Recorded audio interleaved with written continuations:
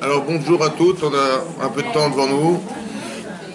Alors vous savez que cette paracha, la paracha qu'on va lire cette semaine, c'est la paracha de Zachor.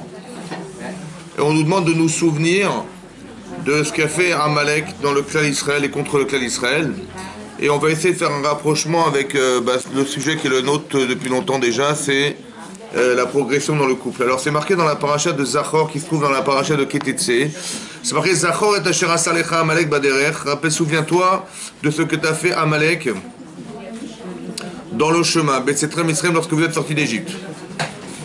Alors Rachid expliquait, il faut se souvenir de quoi Zachor et Asher et Salecha Amalek Baderech. Rappelle-toi de quoi Alors on pense qu'on va se rappeler bah, de la guerre, on va se rappeler euh, qu'il a essayé de nous battre. En fait ici, Rachid explique autre chose. Rachid nous amène ici le Midrash qui nous dit comme ça, rappelle-toi de ce principe. Im shikarta bebinot vemishkalot. Si tu as menti dans les poids et mesures, lorsque tu faisais du commerce et que tu as menti dans les poids et mesures, ouais, tu as trompé les gens, alors Eve doeg migeru yaoyev. C'est bon, c'est bon.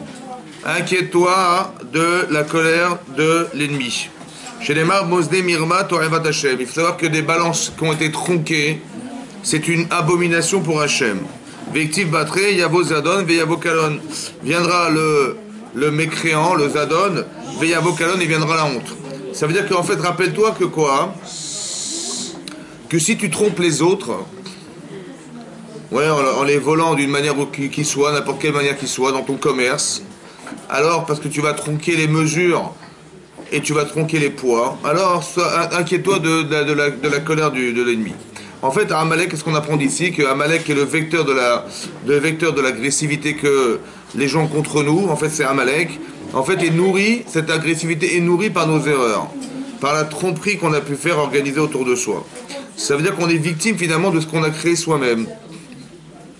Ce phénomène, en fait, il est inexplicable physiquement. C'est pas possible de croire physiquement que parce qu'on triche, alors on va entraîner des ennemis contre soi. Mais comme Hachem existe, et que finalement on est agressé par ce qu'on a créé soi-même, il faut savoir que c'est ce principe-là qui existe. D'où il est issu ce, principe Il est issu du principe de Mida Keneged Mida. Vous savez qu'Hachem se comporte avec nous comme on se comporte avec lui. Maintenant, le principe, il est logique, c'est-à-dire que si d'un côté on trompe les autres, c'est qu'on est capable de croire que je vois en face de moi ce que l'autre me rapporte, sans être conscient de la gravité du désarroi que j'occasionne chez les autres. C'est que quand je vole les autres, finalement, qu'est-ce que je fais? Je m'approprie les biens, mais je, me, mais, mais je suis inconscient de la gravité et de la déchéance que j'organise chez les autres parce que j'ai besoin de récupérer le bien des autres. Alors mentir, mentir ici le shaker, le mensonge, c'est d'exister quelque part sans exister ailleurs. Quand on ment, en fait, on est soi-même capable de dire qu'on est quelque chose sans être, sans révéler la vraie personne que nous sommes. Cette partie, il y a une partie de soi qui est visible, une partie de soi qui est cachée. Ce principe-là, c'est le principe d'Amalek. Alors c'est quoi? D'où est, issu Amalek? Il faut savoir que dans l'histoire, ouais, il faut savoir qu'Amalek est né d'un couple en fait. Ouais, ça nous rapporte, ça nous rapproche du, sujet que Amalek est né d'un couple. Quel couple? Il y avait une femme qui s'appelait Timna. L'Agba dans le Sanhedrin, elle ramène là-bas que Timna, elle a, elle a, fait. C'est une femme qui a fait Teshuvah. C'était une princesse en fait, à l'époque des Avot, des patriarches. Et la Gemara expliquait là-bas qu'elle a voulu se convertir au judaïsme, mais elle a été refoulée bah, une fois par Avram Avinu, une deuxième fois par Yitzhak Avinu et une troisième fois par Yaakov Avinu. Et ils l'ont tous, tous refusé. Dans le tribunal de Avram et d'Yitzhak et Yaakov, ils ont refusé cette femme. Bizarrement, on sait pertinemment, on connaît l'histoire d'Abraham Avinu. Abraham et sa femme, Asun et Becharan. Ils ont fait des barlets de Teshuvah, ils ont ramené les gens à la Torah, ils ont ramené les gens du judaïsme. Or ici, ils ont refusé cette femme. C'est quand même étonnant qu'ils aient refusé cette femme. Il faut croire que chez elle, il y avait quelque chose qui ne correspondait pas, on va dire, à l'idéal qu'on avait de la femme juive. D'accord? Qui pouvait engendrer. C'est pour ça qu'ils ont été virulents et que dit la Gemara, hein, qu'ils l'ont refoulé un peu violemment. Et c'est ça qui a pu entraîner le fait que Amalek soit né de cette femme. Maintenant, elle a épousé qui? Elle n'a pas pu rentrer par la grande porte dans le judaïsme, dit Nagmara. Elle a épousé Eliphaz. Eliphaz qui était le fils d'Esav, le frère de Yaakov Avinu. Mais quel était cet homme Qu'il était Eliphaz. Eliphaz, c'est le fils de Esav. Et la Gemara, et la Barachi rapporte que quand euh, Yaakov il a rencontré sa femme, sa future femme qui était Rachel, il pleurait. Il a pleuré devant elle. Et là-bas, Rashi ramène qu'une des explications de ses pleurs, c'est quoi Pourquoi il a pleuré devant elle Parce que parce qu'il est arrivé sans pouvoir lui offrir quoi que ce soit. Il dit, quand Eliezer a rencontré euh, Rivka, il lui a offert des cadeaux. Euh, et lui, et malheureusement lui, quand il est arrivé euh, devant sa fiancée, il n'avait rien pu lui offrir. Pourquoi il n'a rien pu lui offrir Il avait été dépouillé par Eliphaz. Là-bas explique le Midrash, parce que lorsque Eliphaz a rencontré son oncle qui était Yaakov Avinu, son père lui a dit, écoute, regarde, il faut assassiner cet homme, parce qu'il m'a pris ma Bechora, il m'a volé mon droit d'aînesse, il m'a volé ma Beracha, il a volé ma Bracha qui me revient, et, et, et, comment il s'appelle? Et ça, c'était juré de tuer Yaakov Avinu. Cette virulence, elle, est née de là. Et Eliphaz, qui a reçu l'ordre de son père de tuer son oncle, il est arrivé devant son oncle, devant Yaakov Avinu. Il dit voilà, je suis très embêté. D'un côté, j'ai appris la Torah chez Yitzhak Avinu. Eliphaz, il a appris la Torah chez Yitzhak Avinu, à la yeshiva de Yitzhak Avinu. Il dit d'un côté, je sais que je ne peux pas tuer des hommes. Ça fait partie des dix commandements. Et de l'autre côté, mon père m'a demandé de t'assassiner et j'ai une misva de kibbud de respect de mes parents. Et je ne sais pas quoi faire. C'est un homme qui est en fait en phase bizarre de quelqu'un qui à la fois sait qu'il doit faire une misva de faire avaim, et d'un côté, ce qu'on lui propose de faire, c'est un, assassinat qui est interdit par la Torah. Il sait pas quoi faire. Alors qu'est-ce que lui répond son oncle? Il lui dit écoute, c'est simple, on va essayer de faire autrement. Tu vas me dépouiller. Ani Hashiv Kemet, quelqu'un qui est mort, quelqu'un qui est pardon pauvre est considéré comme un mort. Alors tu m'auras tué quelque part en m'ayant dépouillé sans m'avoir tué physiquement, et on s'arrangera comme ça. Il a accepté.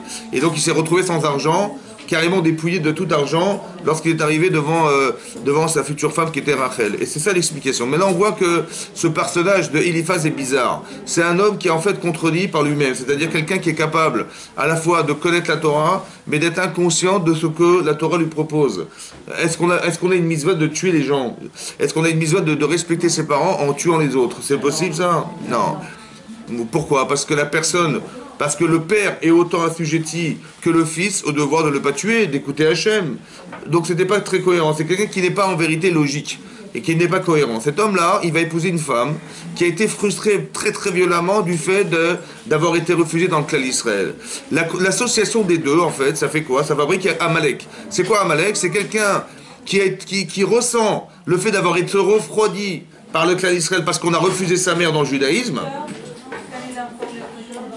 Et d'un autre côté, il est complètement inconscient de ce qu'il est capable de faire. On lui dit, tu vas tuer ton, oncle sous prétexte de kibbutz de respect de ton père, il va accepter. Vous avez compris Il n'arrive pas à solutionner des choses qui sont une chose évidente.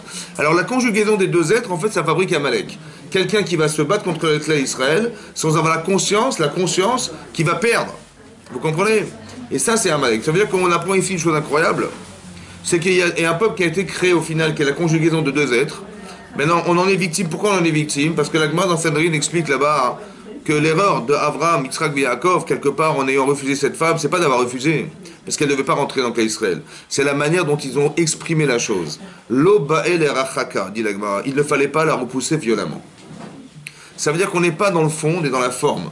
Que la manière dont a été formalisée la chose, elle était vraie, mais la façon dont ça a été exprimé, ça a été frustrant. Et donc, qu'est-ce qu'elle s'est juré elle, elle a dit Je vais rentrer dans le Israël mais je vais rentrer par la petite porte. Mais elle a été refroidie, entre guillemets, dans sa chaleur de vouloir rentrer dans Clé Israël. Et qu'est-ce que, vont faire ces enfants? Ils vont essayer de nous refroidir en permanence. C'est quoi nous refroidir? C'est ce que dit le texte après dans la Torah, c'est marqué Asher Karecha Baderer. Il t'a refroidi dans le chemin. Ou il t'a rencontré dans le chemin par hasard. Ça veut dire que la conséquence de cet acte-là, c'est de, fabriquer des gens qui ne croiront pas en Dieu. Loyar Elohim. Ils ne croiront pas en Dieu, pourquoi? Parce que Mikre Kara, ce qui va arriver en fait est, toujours par hasard. Et c'est là c'est la philosophie d'Amalek. La philosophie d'Amalek, c'est de croire que derrière tout ce que vous voyez, il n'y a personne. La nature, elle fonctionne tout seul. Vous voyez, les arbres, ça pousse tout seul. La terre, elle tourne tout seul. Le soleil, il vient tout seul. Euh, euh, voilà, tous les nuages, ils viennent tout seul. Il pleut tout seul. Personne n'est derrière tout ça. C'est, c'est du mazal. Ce qu'on appelle le mazal, c'est-à-dire que la nature et les personnes et les êtres vivants sont assujettis un mazal. Le mazal, c'est quoi? C'est l'ordre des choses. Ça veut dire des fois vous avez de la chance, vous subissez dans vos vies des choses que vous n'avez pas contrôlées, n'est-ce pas? Eh bien c'est le mazal, c'est comme ça, vous comprenez, des fois ça va, des fois ça va pas. Eh bien c'est comme ça, ça fait partie des, des, cheminements et des montées des descentes de nos vies. Mais donc qui c'est qui a organisé ça? Personne. Ça c'est le, destin d'Amalek. Il pense que Asher Karecha, il t'a rencontré par hasard. Parce que le hasard, il y a la faculté du hasard, c'est-à-dire de croire que les événements qui nous arrivent sont, sont de l'ordre du hasard. Ça veut dire des choses qui n'arrivent pas forcément construites, oui. Sur Eliphaz, on ne peut pas penser plutôt que Eliphaz, il va voir son oncle dis est-ce que je dois te tuer ou pas? D'accord. C'est pas une façon de te dire je veux pas te tuer, mais aide-moi parce que moi je peux pas aller. Oui, bien sûr, bien sûr, bien sûr, bien sûr. En lui disant je fais pas ce que Mais bien sûr, bien sûr, vous avez raison, c'est ça qu'il lui a répondu, je vais t'aider. Mais est-ce que la question se pose Mais la, la façon dont il a, la- il a, il a, il a dit, c'est c'est peut-être euh, bizarre, mais la, la, la réalité, c'est pas la question est-ce que je te tue ou pas, c'est aide-moi à. Mais j'ai compris, mais est-ce que, je vais, est-ce que je vais aider quelqu'un? Attendez, franchement, honnêtement. La réponse, la réponse, je lui ai dit, tu, tu vas me dépouiller, tu m'auras tué. C'est une réponse, ça Non. Non. Lui tu vas savez pourquoi c'est pas une réponse? Parce que la question n'est pas une question. La question, on ne dit pas aux gens, euh, on doit respecter Hachem, on respecte pas ses parents, on respecte Hachem. Or, comme les parents sont respectés, je dis, la question ne se pose pas, mais pourquoi il est comme ça? C'est quelqu'un qui ne sait pas décider. Vous comprenez, c'est ça son problème. C'est quelqu'un qui ne sait pas décider. D'un côté, il est transporté par le respect de son père, et d'un autre côté, il doit ne pas tuer les autres. Il ne sait pas quoi faire. Monsieur ne sait pas quoi faire, il ne sait pas décider. Quelqu'un qui ne sait pas décider, alors il va être, il fait partie de ce peuple. C'est ça que je voulais expliquer. Mais cette partie inconsciente, il n'est pas conscient que ça ne se fait pas ce qu'il fait. C'est ça le problème. Donc il va construire des gens, comme comme lui, c'est le peuple de l'Amalek, qui vont, qui vont s'acharner à vouloir nous refroidir, ça veut dire aux yeux des peuples, que quand on est sorti d'Égypte, quand on est sorti d'Égypte, il y avait une telle irat Shamaim dans le monde que tout le monde avait entendu l'ouverture de la mer Rouge. Chamou, Amim, Mirgazoun. Ils ont entendu les peuples, ils ont tremblé. Il y avait une irat Shamaim qui était évidente, que Hachem existait, parce qu'il y a aussi la Hachem s'est dévoilé dans le monde, et d'un autre côté, le peuple choisi, c'est le clan Israël. C'est-à-dire le peuple associé à Hachem, c'est le clan Israël. Vous imaginez ce que ça veut dire Donc tous les gens, qu'est-ce qu'a essayé de faire Amalek? Il a essayé de casser ce principe. C'est-à-dire le fait de faire un lien entre Hachem et le clan Israël. Comment il fait Comment il casse le lien En disant c'est simple, ils ont eu de la chance. C'est le mazal, vous comprenez Ils sont sortis d'Égypte par hasard, et la mer s'est ouverte, ils ont eu de la chance, comme tous les scientifiques essaient de nous expliquer que toutes les choses, elles sont là de façon naturelle. Le- c'est la nature qui organise les choses. Nous, on pense que quelque part derrière le hasard, il y a une pensée, il y a un penseur. Eux, ils disent qu'il n'y a pas de penseur. C'est ça qu'est Rabat derrière. Maintenant, c'est d'où est issue cette faculté à ne pas croire en Dieu Elle est venue d'une frustration profonde. Vous comprenez? Ça veut dire qu'on nous a refusé. Alors au fond du fond, tu me refuses, je te refuse. Euh, Le cheminement, il est simple en fait. Et quand on respecte les gens, ouais, on est respecté par les autres. Et quand on ne respecte pas les gens, on n'est pas respecté par les autres. C'est très important de comprendre que cette frustration qui a été organisée dans un personnage qui s'appelle Esav a engendré que ce n'est pas seulement Esav qui a été touché par ce problème, c'est tout ce que représente Esav, qui est la nation occidentale. Lorsque la Torah nous dit que, comme elle s'appelle Rivka, elle est partie voir la yeshiva de Shem, elle a été voir Shem pour lui demander qu'est-ce qui se passait chez elle. Il lui a répondu Ne crois pas que tu as un enfant qui est contradictoire. Parce que d'un côté, tu passes devant un, lieu d'étude, il veut sortir. Tu passes devant une maison d'idolâtrie, il veut sortir. Non, cet enfant n'est pas contradictoire. Tu as deux enfants en toi. Mais tu n'as pas deux enfants, tu as deux nations. Ça veut dire qu'il y a deux nations qui vont naître de toi. Il y a la notion, il y a, Esav qui représente l'Occident, et tu as, euh, comment il s'appelle Yaakov Avinu qui va représenter le clan d'Israël. C'est deux, deux nations. Et ça, il faut comprendre que derrière tout ça, lorsque, lorsque Yaakov a récupéré la bracha de son frère, Esav, par une, par une tricherie, on peut peut pas dire autrement, il a, il a fait croire qu'il était son frère, mais il n'avait pas le choix quelque part, oui, parce que son père était, persuadé, son père Yaakov, était persuadé que la bracha revenait à son frère, donc quelque part, pour son père, il fallait qu'il soit trompé par son propre enfant. Pourquoi son propre enfant? Parce que, parce que, euh, il s'appelle? Parce que, parce que Esav, qui avait trompé son père en faisant croire que, soi-disant, on prélève du maaser sur du sel et il fait le tzaddik, alors que d'un côté, il dépouille les gens. Donc il est trompé par quelqu'un qui le trompe parce que Hachem, quand il fait une chose, en fait, il, solutionne trois choses. Un, il solutionne son fils. Il solutionne, pardon, euh, euh, parce que Yitzhak, il s'est trompé en pensant que, que c'est Esav qui devait recevoir la bracha, il s'est trompé, donc il va être trompé par son propre fils, qui est le vrai fils.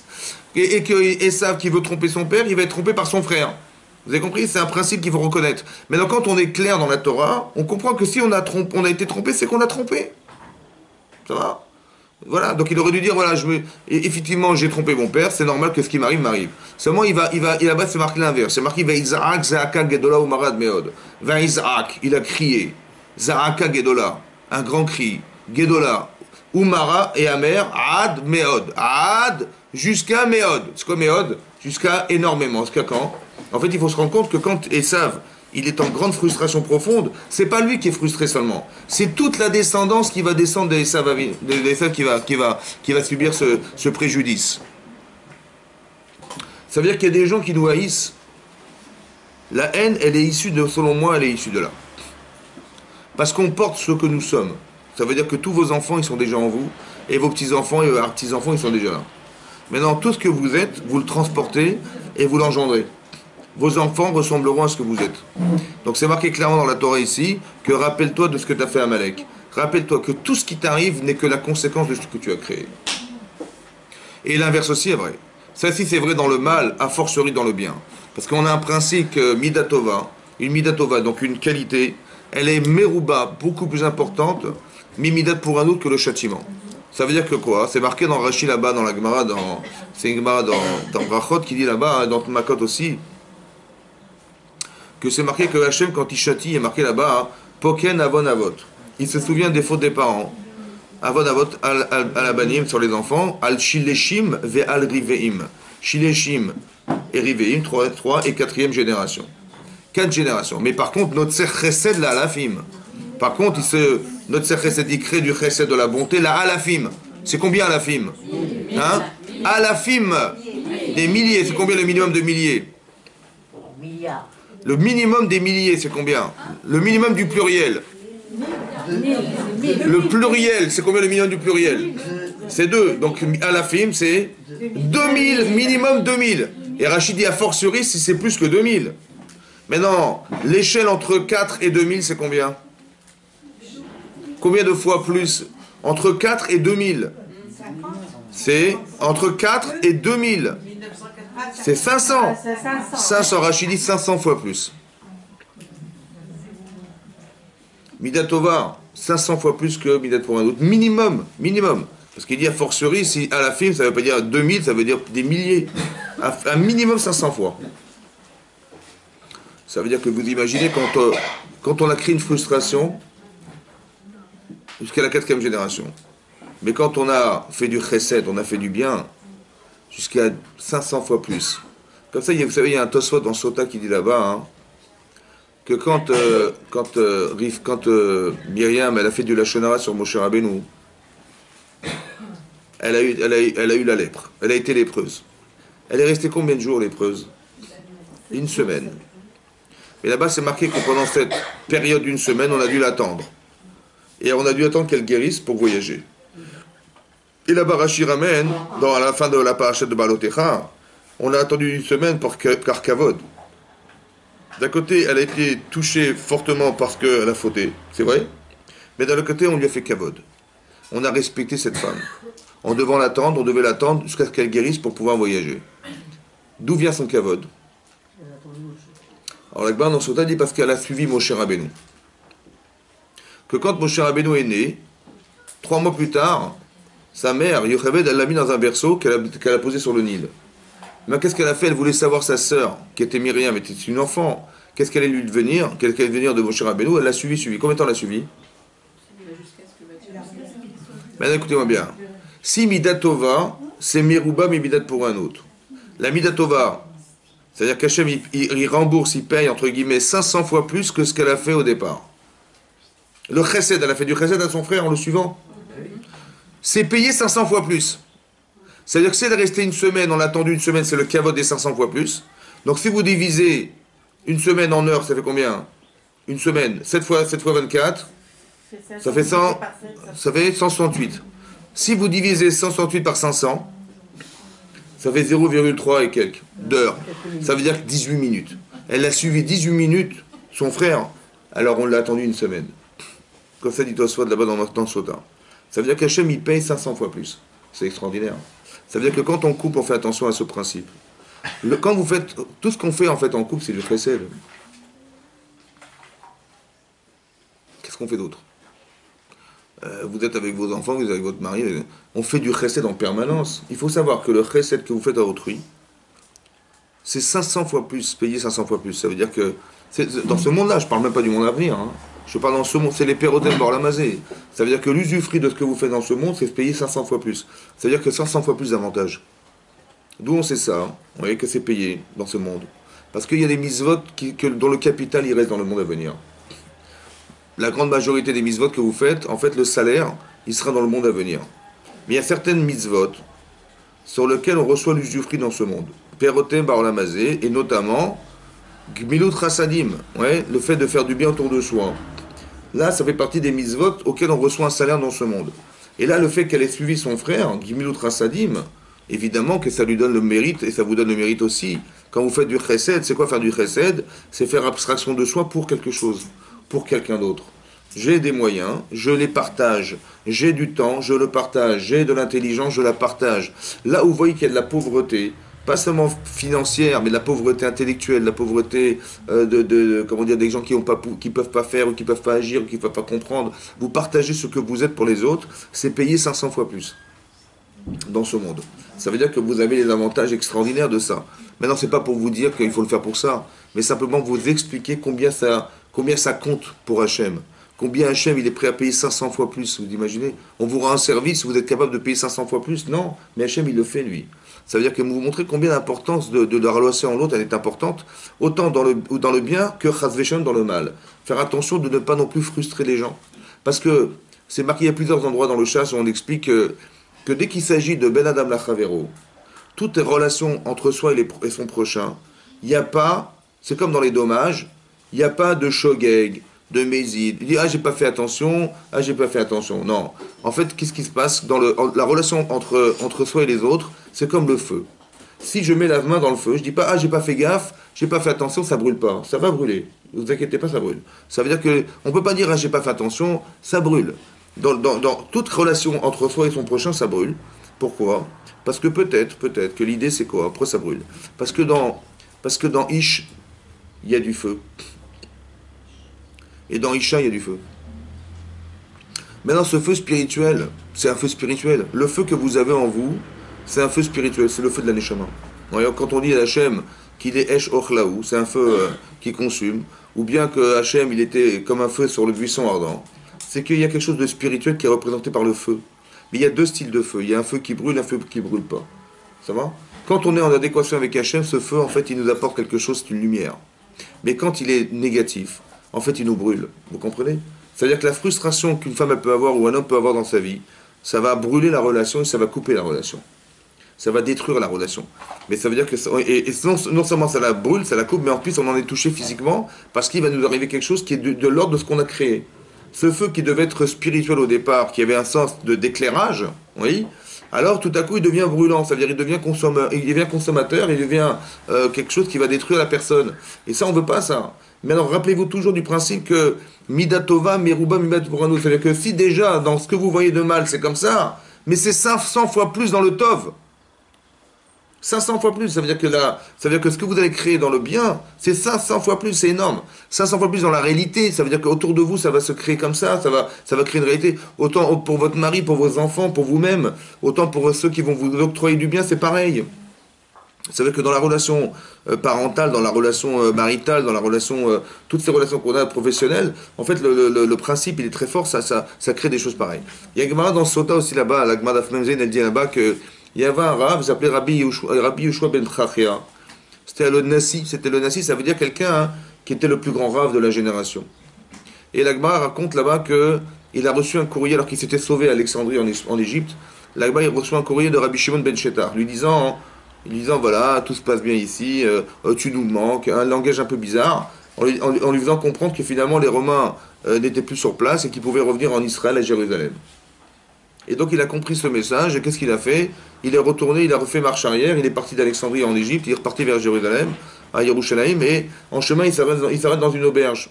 Et là-bas, il raconte, il dit, il avait son Talmid Echad, il avait un Talmid Echad, qu'on suppose être, euh, être euh, Jésus là-bas, ouais, Talmid Echad, et qu'est-ce qui se passe? Il a dit qu'est-ce qu'elle est belle l'aubergiste? A fait Rachid expliquer, il dit non, comment elle nous reçoit bien l'aubergiste? Il a voulu dire qu'elle est belle, ça veut dire quand elle nous reçoit bien. Maasea, c'est-à-dire ce qu'elle fait pour nous, comme elle nous a respectés, comme elle... c'est beau à voir. Et lui, il a compris, ben, elle est belle, elle est belle. Il a dit, elle est belle, mais elle est pas belle, elle a les yeux ronds, les cheveux bouclés, elle est pas belle. Il a dit comme, mais je t'ai pas parlé de sa beauté, je t'ai parlé de ce qu'elle faisait. Et il s'est mis en colère, son rave, il s'est mis en colère contre lui. Il a sonné 400 chauffarottes. 400 chauffarottes, ça veut dire qu'il a sonné 400 fois pour le mettre en quarantaine. C'est une femme mariée, comment tu vois les mariées ça oh. Et donc qu'est-ce qui s'est passé? Donc il a son élève, il l'a mis de côté, mais carrément jeté quoi. Ça veut dire. Et là-bas son élève, il est venu le voir, il a dit écoute pardonnez-moi Rav et tout, il voulait rien savoir. plusieurs fois, il est venu le voir, dit il n'a rien voulu savoir. Et au moment où il était d'accord d'accepter son pardon, il était en train de lire le Kriyat et donc quand on lit le Kriyat vous savez pertinemment qu'on ne peut pas faire de geste, on ne peut pas répondre. Donc qu'est-ce qu'il a fait? Il a fait un signe pour dire attends-moi. Et l'autre, il a cru, il a cru que genre va-t'en. Et donc il est parti. Ce Talmud là, cet élève, il est parti. Vous imaginez qu'il était l'élève du, grand Rav de l'époque, hein, du, grand, du Gaon de l'époque. Et cet élève, il est parti, il a fait Avodazara, Dilagma, il a fait l'idolâtrie, il a fait des Masek Shafim, de la sorcellerie, il a été choté, il a fauté, il a fait fauter le peuple. Et à la suite de ça, son Rav, il est venu voir Rabbi, euh, Rabbi Shomen Pachia, il est venu voir, et il lui a dit Chazor Becha. Il dit Fais tes chouvins, reviens sur, ton chemin. Il a dit Non, la Maddenou Rabbeinu, tu nous as appris notre maître, que quelqu'un qui est choté, qui faute, qui est martier tarabim, qui fait fauter le peuple, En Maspikim Beado la On lui donne pas les moyens de faire tes chouvins. Il dit C'est trop tard, je peux pas faire tes chouvins. Et là-bas, l'Agmara déduit un, principe de base qu'il faut retenir, que en fait, l'Agmara dit que les femmes, les enfants et le Yetzera, on repousse de la main gauche. Quand on a quelque chose à dire, on le dit avec la main faible, mais on récupère toujours avec la main droite. Ça veut dire que quand on dit un reproche, il faut dire j'aime la personne, la puissance elle est dans la main droite, donc l'amour qui est la puissance, le chesed c'est la main droite. J'ai quelque chose à dire, je suis gêné de le dire parce que j'aime la personne, je tiens à la personne. Je veux conserver ce, ce rapport à la personne. Maintenant, si j'ai des choses à dire, je fais avec la main gauche, je fais reproche, d'accord Mais avec la main gauche, la main faible, mais je récupère toujours avec la main droite. Mais jamais, jamais, jamais, jamais, on repousse des deux mains. C'est ça qui s'est reproché. C'est ça que l'Akbar a reproché à Sorav, qu'il a été doré Béchinadaïf, c'est-à-dire qu'il a repoussé des deux mains. Maintenant, vous avez vu ce qui s'est passé ou pas? Cet enfant-là, ce jeune, ce Talmid-là, hein, voilà ce que ça a engendré, ça a engendré le christianisme, ça a engendré combien de gens sont morts à cause de ça? Vous voyez, tous les massacres qu'il y a eu, tout ça, tout ça s'est engendré parce que parce qu'on n'a pas su juger, je pense, pas su juger le Yetzirara des autres. Vous avez compris? Ça veut dire que le niveau où se situe, ben, l'autre, manifestement, l'autre n'est pas à ce niveau-là. Alors qu'est-ce que je fais moi? Ben, je le, Ou je le jette des deux mains et je ne veux plus le voir, ou alors je comprends ce qu'il est. Et je sais qu'il est, et je sais qu'au fond de lui-même, au fond de lui-même, ce, qu'il a, ce, qu'il a, ce qui a animé son, sa, pensée, ce qui a animé euh, comment dire, sa réaction, c'est pas lui, c'est, c'est, bon, bah c'est, ce qu'il a nourri en lui, mais quelque part c'est Sarah qui va utiliser cette décadence pour le faire fauter, pour le faire fauter, c'est vrai ou pas? Donc de la même manière qu'il a fauté à cause de son Yetzera, hein, de son mauvais penchant, on peut très bien alimenter son Yetzeratov et lui permettre de faire un autre choix ou pas? C'est comme ça qu'on doit réfléchir. On ne doit pas regarder les gens tels qu'ils se manifestent, parce qu'on dit, ben, s'il a fait ça, c'est qu'il est ça. Non. En fait, ce qu'il a fait, c'est c'est son erreur. L'erreur, c'est la pensée. Donc, si je change la pensée, je change la personne. Oui? Donc, c'est ça qu'il faut réfléchir. Il faut se dire, non, je ne suis pas, je ne repousse jamais complètement la personne. Parce que repousser, ça veut dire qu'il n'est pas rattrapable. Tout le monde est rattrapable. Donc, qu'est-ce qu'on fait? On raisonne comme ça. On raisonne en se disant, je repousse la main gauche. J'ai quelque chose à te dire, mais sache que je t'aime je suis avec toi, mais ça, ça me dérange. Donc je récupère de la main droite, mais quand je refoule, je refoule jamais des deux mains. Jamais des deux mains. Parce que quand on refoule, on crée des frustrations qui sont des fois irréversibles. Vous avez vu ça, ce qui s'est passé? Voilà, irréversible. Il a fait chouva, il pouvait plus faire chouva. Son rave lui a dit un jour, tu pourras jamais faire tes chouva si tu fautes comme ça. Donc il a accepté ce que son rave lui a dit, et ça va, ça allait à l'encontre de la Torah, c'est effroyable. Donc la Torah déduit, attention, Yetzerara, les femmes, les enfants, des gens qui, ont, qui sont attachés à des personnes. Vous êtes attaché à votre mari, il faut faire attention que votre mari vous jette pas non plus. Et vous-même, vous êtes attaché à votre mari, il ne faut pas non plus repousser de demain parce que ça veut dire qu'il n'y a plus d'espoir. Et ça, on n'a pas le droit de faire ça, vous comprenez? Ça va créer de telles frustrations, ça va refroidir la relation. Exactement comme c'est marqué dans la Torah ici, Karecha Baderer. Ça veut dire que cette frustration, elle peut être, elle peut être tellement profonde que malheureusement, ça peut amener à ce que la relation se coupe complètement. Comme des couples, ils vous disent, euh, ils disent, euh, je vous dis, on essaie de faire le shalom, on dit, je peux pas, je peux plus le voir. On arrive à un certain niveau de dégoût qu'une femme, elle peut avoir vis-à-vis de son mari, ou qu'un mari vis-à-vis de sa femme, et le dégoût, on n'est plus dans l'intellect, on n'est pas, on peut pas expliquer aux gens maintenant, c'est trop tard. Ils sont arrivés à un tel niveau de, insupportable que, que même l'explication relationnelle ou, rationnelle des choses, elle ne pourra pas suffire parce que parce que parce que l'émotion est toujours plus forte que la passion, que la, que la raison, et la raison, elle est complètement noyée dans ce, dans ce. Donc si déjà dans l'amour on arrive à noyer la raison, alors aussi on voit que dans, malheureusement dans le, dans le contraire aussi. Donc faire attention que on ait toujours cette relation saine. Vous voyez que toujours rappelez-vous toujours que quand on a quelque chose à dire, c'est avec la main gauche, toujours. Que la relation elle, elle, se, elle se construit dans ce sens parce que on ne veut pas perdre la personne qu'on aime. On ne veut pas perdre, voilà. Et ce qui s'est passé, Amalek est né de ça. Amalek, il est né du fait qu'un jour, un jour, on a, on a, que la chose a été mal comprise par Esav, mais tellement mal comprise qu'elle a été touchante au plus profond de lui-même. Et ça, ça a engendré malheureusement, manifestement, quelque chose qui va être à l'encontre de nous. C'est-à-dire qu'à chaque fois qu'on fera des erreurs, il y aura toujours quelqu'un pour nous rappeler, rappeler nos erreurs. C'est ça le sens d'Amalek. Toujours c'est comme ça. Parce qu'on part du principe de Mida Keneged Mida, qu'on nous renvoie l'image qu'on a créée soi-même. Toujours. C'est ça qui est extraordinaire. C'est ça qui a permis à Yitro de faire Teshuvah. Parce que c'est pas logique humainement. Humainement, c'est pas logique qu'on est rattrapé par nos erreurs. Ben non. Et alors que là, on le voit. Donc c'est qui qui renvoie l'erreur? C'est Hachem qui renvoie. Vous comprenez? En disant dommage, tu as raté ça, corrige. Donc la réalité n'est que la réponse et aussi la révélation de ce qu'on doit corriger. Et quand ça va bien, on le voit également de nos yeux vus. C'est-à-dire que quand vous réussissez quelque chose, vous allez voir une réussite professionnelle, une réussite euh, euh, maritale euh, avec vos enfants, c'est pareil. Quand vous respectez les gens, vous le faites de façon cohérente parce que vous aimez ce que vous faites. L'Arshkina réside dans cet espace. Et là, on voit que la réussite, la réussite, elle, n'est que l'expression de la bracha qu'Hachem nous renvoie. Donc quand on fait des choses bien, sachez que c'est toujours payé au 500e. Ça, 100 fois plus. C'est donc c'est très encourageant. Il faut absolument rester dans cet esprit-là et conserver cette idée. Alors qu'à l'inverse, il faut essayer de refuser justement parce que on ne veut pas alimenter Amalek. On n'est pas là pour alimenter Amalek. on est là pour pour au contraire donner de la vie dans, dans, dans, notre vie de Torah et que Bezat Hashem, ça soit toujours une vie équilibrée. Amen. Kenny Ratson. Je suis désolé, il est midi et demi, là je dois partir. Merci beaucoup d'être venu en tout cas, et Chazak, et beaucoup d'Aslacha. Amen, amen. Amen. amen.